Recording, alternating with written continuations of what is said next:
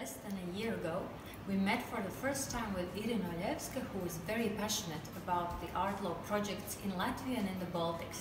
So together we firstly applied for the funding of Nordplus and happily carried out this summer school in arts law in the summer of 2016.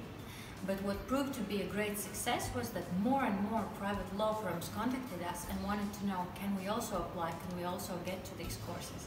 And so I'm very happy to announce that we have a full pipeline of art law activities planned for year 2017, starting with the first seminar already in January, but we also already have booked up a seminar in September, so be sure to join us for any of the two in arts law.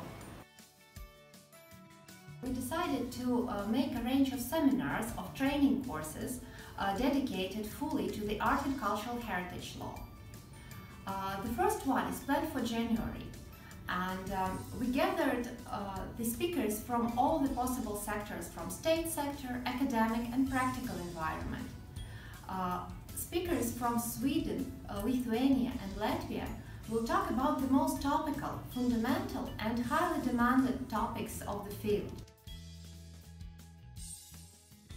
Uh, we are not limiting our education process by resident courses only.